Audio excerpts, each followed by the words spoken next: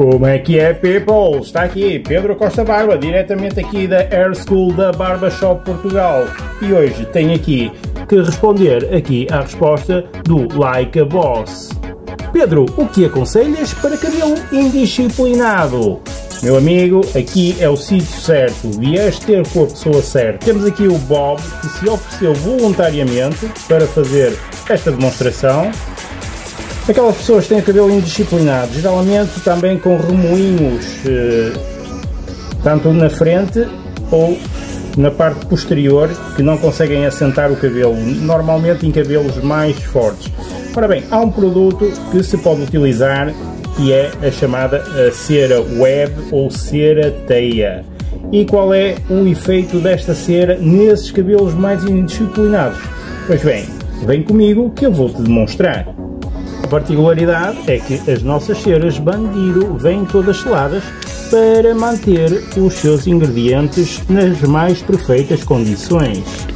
E voilà, aqui está a cera fibra ou cera teia ou cera web, como lhe quiserem chamar. Aqui está ela.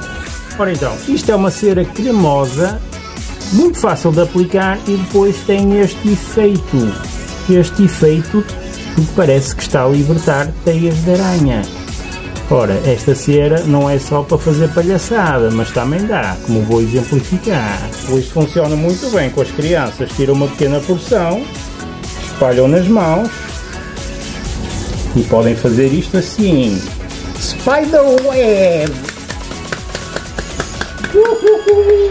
Quero ver quem é que vai limpar isto tudo depois. Então, com um bocado de porção de cera, que já está aqui no cabelo, podem aplicar, escusam de estar a fazer aquela palhaçada, mas podem tirar um bocadinho, esfregam na mão e depois passam por todo o cabelo, principalmente nas zonas em que arrebita mais.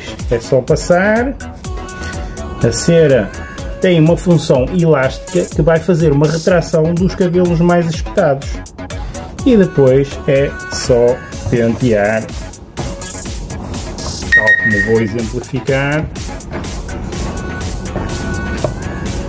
E como podem ver, o cabelinho fica aqui alinhadinho, é?